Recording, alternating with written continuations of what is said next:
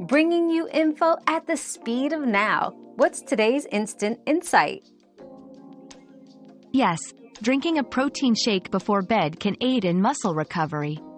Consuming protein before sleep ensures a steady supply of amino acids overnight, which supports muscle repair and growth.